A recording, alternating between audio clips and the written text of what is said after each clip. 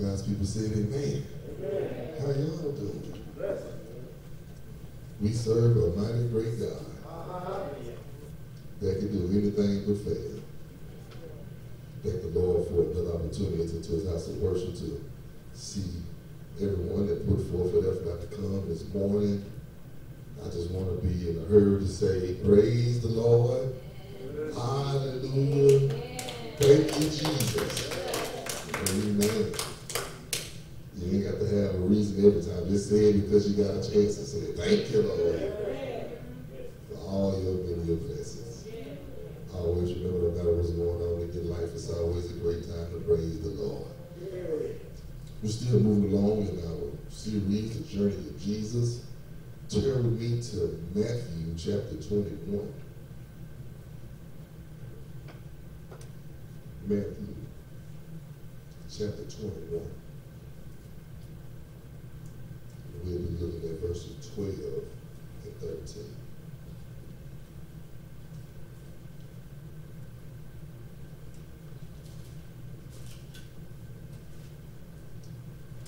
Matthew chapter 21, verses 12 and 13.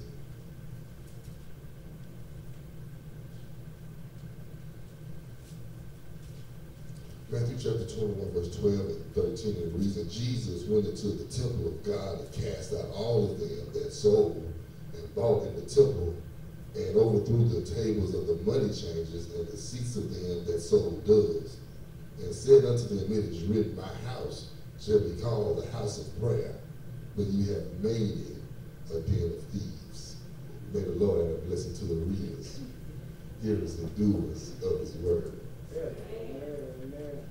Just for a little while, I'd like to speak from the topic under new management. Under new management. For those of us who have lived a while, we have seen businesses come and businesses go. I guess sometimes get beside people with Jonesboro, they tell me about stores that was here that I hadn't seen since I've been here. This over here used to be the Popeyes, this over here used to be. Because over time, a good idea can turn into a bad idea. So many people want to oh, get a food truck in, want to start their own food company and all that until they see that the overhead is a little bit too much more than they can bear. And then you will see a sign on the bulletin that says under new management. Yeah. The building is the same. The person inside is different. I just I preached already. The building is the same. But what's on the inside is different. And we don't even have to look at businesses. Most of us can raise our hand and testify that the car or the house that we bought doesn't look the same as it did when we bought it. For some, they get the vehicle and they tint the windows and put some 24s, 26s on. Yeah. Put a little beat in the trunk. Make the CD player a little bit more fancier. Yeah. Because now this car is under new management. Some buy a house and knock out a wall here and Yeah. paint a new room there and add on a porch and see if we got enough room for a pool because this house is now ah, under new management. Yeah. It's not to say what was going on was wrong, but it just wasn't me. The- the- I want my house to reflect my personality. If Into a house and the room is pink and I'm a man, that, that room won't stay pink for long. We'll paint it blue, we'll paint it black, we'll paint, it kiwi green, but we're gonna change the color because it don't fit our personality. And oh, when we come up under the management of God, He gets on the inside and changes, even though the outside looks the same. He starts to mold us to what He wants us to look like. He, he- he changes our walk, He changes our talk, changes our mindset so we can look more like Him than the world. Come out from among them and be separated. Uh-huh. And we find Jesus in the text. He is on his last week on earth. He is on his way to Calvary. Matthew 21 starts off with his heroic entry into town to where they went and got a coat and brought it, and the people put leaves in the way and their clothes in the way, and as he came, they hollered out! Lord God of the highest. And, and it goes straight from there. It says he goes from being praised to him going straight to the temple. And on his way to Calvary, he has to get some things straight. Yeah. It's just like us when we get ready to go out of town. I never understood the night before we go out of town, we had to clean the house. I'm like, Mama, we're not gonna be here. But we wanted to go and clean it so when we got back home, we ain't got nothing to do. And so Christ is on his way to Calvary. He's stopping off by the temple to clean it up on his way out of here. So when he come back, he can look for a church without a spot. oh, really, it all comes together. So he stops there, and what he sees is not the original functionality of what the temple was supposed to be doing. I'll say that one more time. When he went and stopped, the temple was not functioning in the original function that it was there for. They were turning the temple into a place of gaining money and finances and wealth when it was supposed to be a house of prayer. Oh, in 2022, there are some churches that are more to the doves and the money changers than it is on prayer. For those who don't know what prayer is, prayer is our connection with God to where we can call them up and tell them what we want. There's, there should be not one Christian that comes to church and leave without lifting us in prayer before they go. First of all, you should be praying every day. But at least when you're in his house, you should talk to your father and tell him about what's going on in your life. He said this is supposed to be a house of prayer. So it leads me to ask the question, what do churches look like today? Are we still making the main thing the main thing?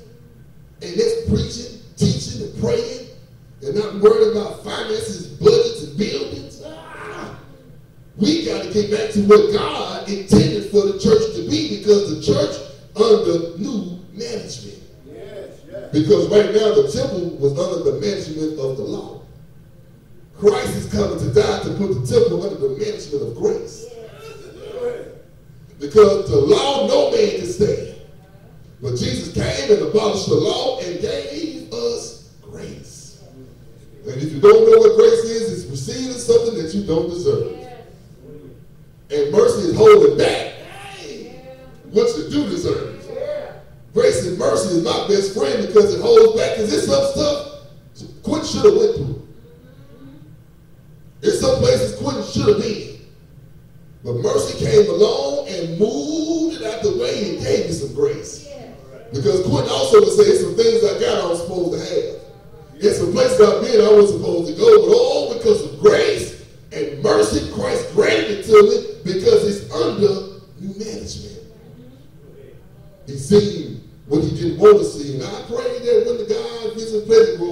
sees what he wants to see. A house of prayer, a house of worship, a house of fellowship. When he comes and visits us, I want him to say, this church look like it's under new management. Yes. Yes. These people here love each other. Yeah. They look out for each other. They see out for each other. But you have some churches where one side of the church is mean, the other side of the church is happy. One side of the church is family, the other side of the church is foes. But now, when we come into the house of the Lord, we're all sinners saved by grace. And if we are the new management, I can go up to Bruce and say, How you doing, man? Praise the Lord to see you in the house today because if I come in with a praise and you come in with a praise, after a while we're going to sound like uh, Psalms 100 make a joyful noise unto the Lord. Because if you're under new management, the only thing you can do is come in and do what you're functioned to do. And there's two things in the text that happen when you're under new management. Two things in the text that happen when you're under new management. First, new management comes in and removes. New management comes in and removes. There's no, uh, there's no way to make a business profitable until you find out where you're coming up short. And there's two things that might have to happen. You have to remove problems, and sometimes you have to remove people. It's a show that me and Alex like to watch called Bar Rescue, where a man come in and got a lot of money and he, he, he, gets with the owner because the owner is failing and two or three months for filing bankruptcy. He goes in, he try to find out where the liabilities. The, the refrigerator ain't cold enough so you're losing food. The, the, the, the, little beer tap, the, the, beer ain't coming out cold enough so you're losing customers. So he has to find the problems so he can fix them. And oh, when Christ comes into our life, he finds the problems so he can fix them. But the thing is, we're different than the business. We hold on to our problems. There's some people, they have problems, they would have nothing to talk about. Soon as you call, oh Lord, but they ain't doing good. Them people there, you get about two, three minutes out of me, and I'm getting off the phone. Because their damn uh attitude will jump through the phone on you. Thing you know, you over there complaining. When Christ comes into our life, he removes problems. And all problems are not at work. All problems are not at church. Some problems in your house. Some problems in your family. But Christ said, if you cannot forsake father mother, you're not fit for the kingdom of God. And if your father, your mother, your family is a problem, when you under new magic, God will remove them.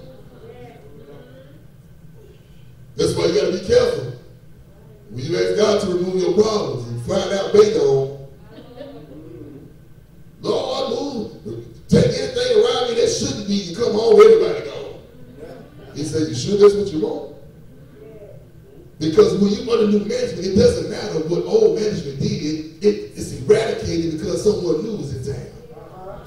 I got scripture with it. When, when Nicodemus came to Jesus in John chapter 3, by verse 7, he said, Marvel not that I say unto thee, he must be born again. You got to change and from when you was born because we was born in sin and shaped in iniquity. But when we born again, we are born heir of salvation. We are born into the Christ family because now we are under new management. That's why I ain't trying to hear nobody say I was born like that. You was born like that. That's why you must be born again. Because as he told, there's no way to get to the kingdom of heaven until you succumb to Christ's management. There's no way for us to get from glo-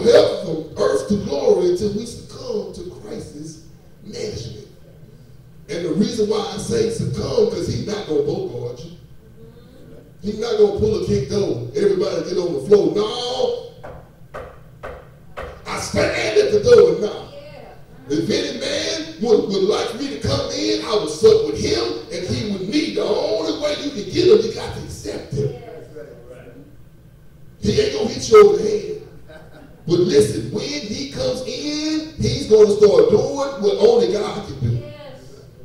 Remove some thoughts. He's gonna remove some feelings. He's gonna remove some friends. He's gonna remove some foes because you're under new management. Yeah. Caesar said, say, I looked at my hands. And my hands looked new. I looked at my feet and they did too. Oh, what a wonderful change. And it only comes when you're under new management. First, he has to remove some problems. Second, he has to remove some people. I must testify. Sometimes it's hard to accept the people God is removing from your life. You've invested time, you've invested feelings, you've invested money, but when God shows you it walk like a duck and quack like a duck, it's a duck. But you'd be surprised because that'd be the one, the friend that always come through. That'd be the that'd be the home girl that always answer the phone. But it's levels to this. And some levels you got to pack a little lighter. Some levels you got to throw off some stuff. When you see a ship that's, that's sinking, they got to start throwing stuff overboard so they can continue to float. And who's sinking? Because they don't want to drop some stuff. Whose life is getting turned upside down because you're trying to hold on to some weight that God's trying to free you from. It's tough. It's hard because you love them. But if they're not beneficial to the kingdom, they gotta go. God, as you see in the text, he said he removed. God cast out all of them. He will get rid of whatever stunting your growth. That's why we turn over to John 15. He said, I am the true vine. And my father is the husbandman. He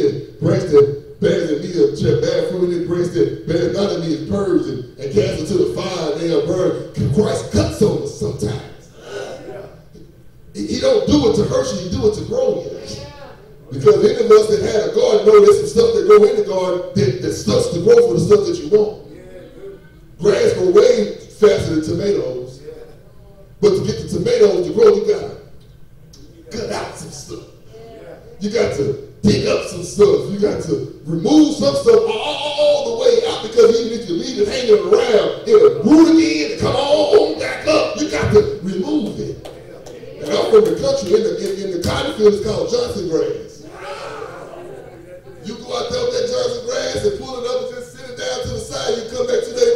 Straight on back up. Because it'll root back in. And some of us got problems in our lives right there. We try to stay away and step away, but we don't remove it. We just put it to the side. Next thing you know, we step back, we step back, and now we back in it again from the same breath. God, if you get me out of this, I'll never do it again. I'm right back here on my knees asking you, Christ, get me out of it. He'll some problems. And he removes some people. But when you're under new management, you got to accept because if you were under new management, that must mean what you was doing before didn't make it. It must be the plan that you was on before wasn't good enough. That's why I tell some people, try Jesus. You gave the devil all them years and you ain't made it nowhere. The least you can do is give him a try and see where he goes. And I'm here to tell you, he'll walk with you. He'll talk with you. He'll let you know that he is your own when you're under new management. How about that? Two things that happen under new management, they remove. Second thing they do, they restore. They remove and they restore. I've seen businesses that was getting ready to crumble but got the right uh, manager in the building and that business now has a strong name because the new management restored its name. Christ came in and restored order at the temple. He said, My house is to be called the house of prayer. Now, don't get the people wrong. Back in this time, they were still sacrificing, so they did have to have some certain animals and stuff to go in. But these people are, are parked outside in the Gentile court because the Gentiles could go into the temple. So since they could go in, they would start to say, hey man, this, this dove right here, this $15. Dove might not cost them $3. They was extorting folks. They was not doing what the thus said the Lord. They was giving out some animals that was not according to the way. They was lame and blind. And the Lord said he wanted a, a, a sacrifice without a spot or blemish. So he said, all you guys out here doing has nothing to do with what I built the temple for. I built it to restore people. Because you know in the Old Testament, that young lady, she was in the temple when she started crying because she couldn't get pregnant with that baby. It was, it, was, it was David in the Psalms.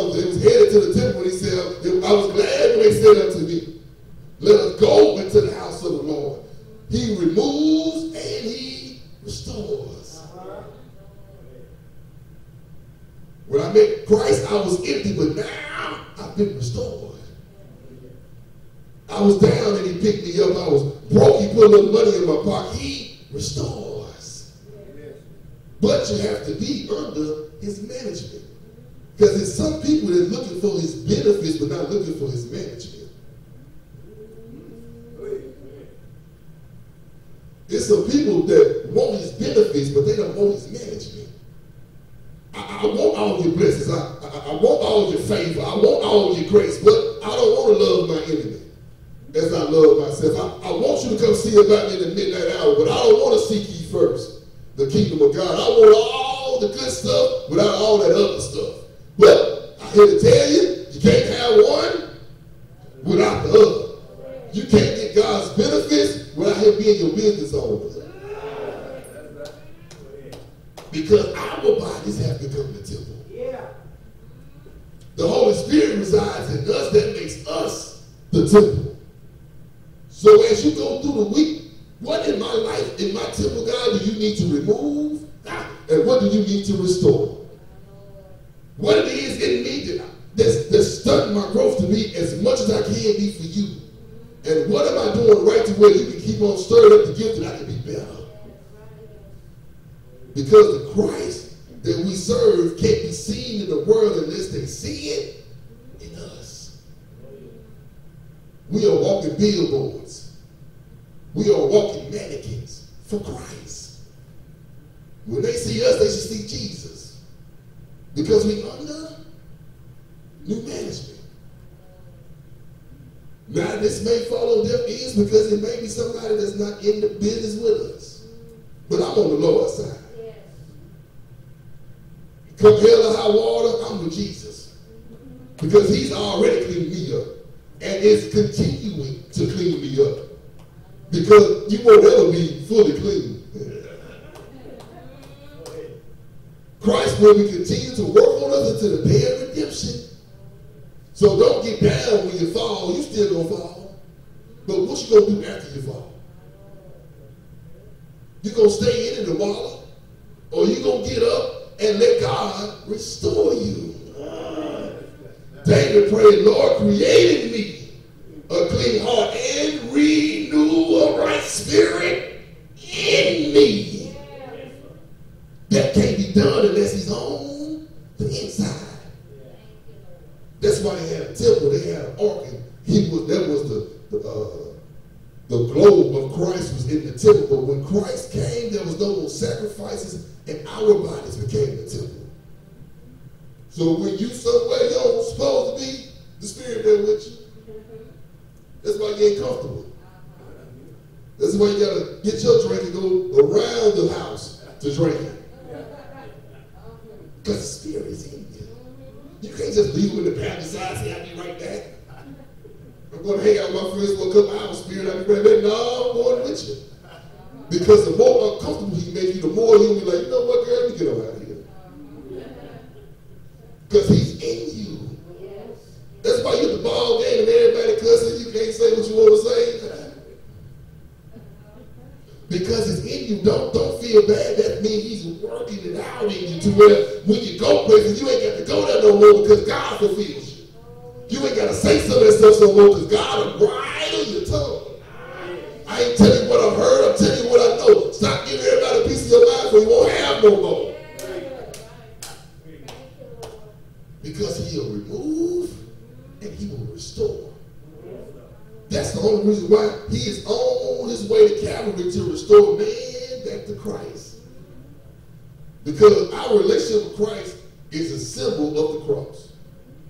We have a vertical relationship from us to God, and we have a horizontal relationship from me to you.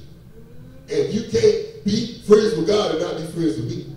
And I can't be friends with you and not be friends with God. We got to have the whole cross-shaped gospel. Because he died and rose to put us under management. If you want to live by the law, praise the Lord. But I want to live under the grace.